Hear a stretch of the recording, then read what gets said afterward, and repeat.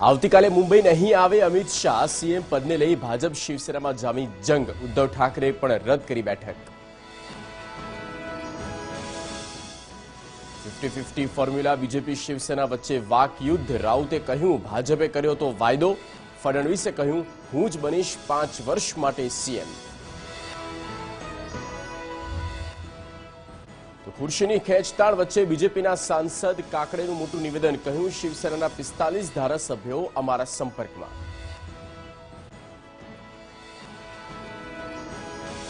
ભાજપ શિવસેના વચ્ચેની માથામણમાં કૂદી કોંગ્રેસ, પૃથ્વીરાજ ચૌહાણે કહ્યું, શિવસેના પ્રસ્તાવ આપશે તો વિચાર કરીશું. દિવાળીમાં તિલક કરેલો ફોટો સોશિયલ મીડિયામાં અપલોડ કરવા ટ્રોલ થયા શાહરૂખ ખાન અભિનેત્રી શબાના આઝમી આપ્યો શાહરૂખને સાથ કહ્યું ઇસ્લામ કમજોર નથી કે ખતરામાં આવી જાય